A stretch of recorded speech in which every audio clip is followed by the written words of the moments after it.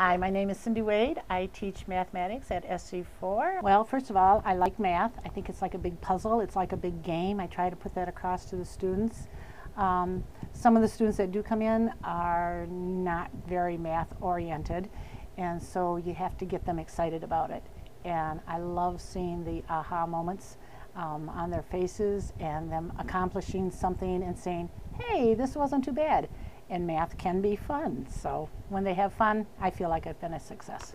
We've got people coming back for degrees that they need some math and that they never thought that they needed math. And we work very, very hard at making sure that they're successful to whatever level of math that they need to go to.